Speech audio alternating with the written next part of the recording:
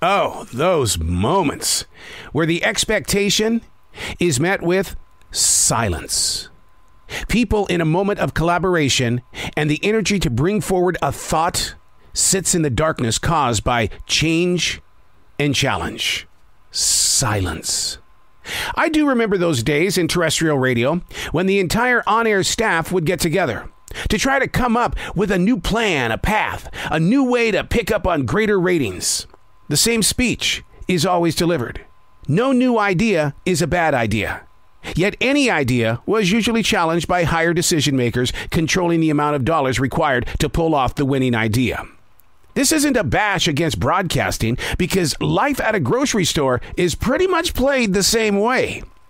Ideas are always in need. Sharing them requires courage as well as forgiveness. Because whatever idea is brought to the light, it'll become darkness due to the rule keepers who trust that their ideas are always right. More than ever, the best advice for sharing an idea is to not say anything at all. Hey, it's Arroe. This is the Daily Mess. Wow, a chronological walk through an everyday world. I am a daily writer, the silent wolf. I like to just sit back and watch.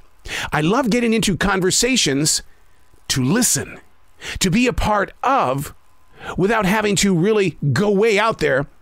I am a daily writer. Put it on paper and let's create a conversation. This is the Daily Mess. What are we setting ourselves up for? How can we prepare for the unknown and yet the writing's on the wall? I mean, look around you. The feds were weirded out when the consumers didn't change their buying habits while inflation and interest rates were going totally crazy. Two huge wars on the planet right now, and the talk of it going to World War III doesn't seem to be knocking on the hearts of those living out the moments. What are we setting ourselves up for? Have you been physically and mentally trained to set things out of sight so that we can keep them out of our mind? I don't want to be the guy running around shouting, The sky is falling! The sky is falling! How about Paul Revere? Do you think people believed him? The British are coming! The British are coming!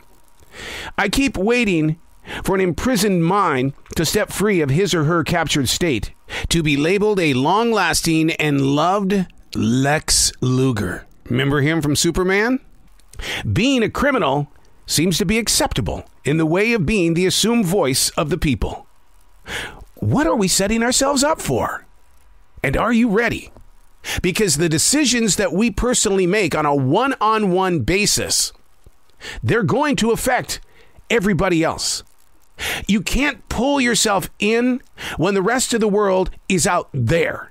And we're all going to be out there because you need something out there. And no matter how high you plant your walls, you're still going to need something out there. What are we setting ourselves up for? And are you ready? Not to scare you, it's called awareness. Keep your eye on the reality of the world and out of your ocular goggles. I'm Arroe, and that's the Daily Mess.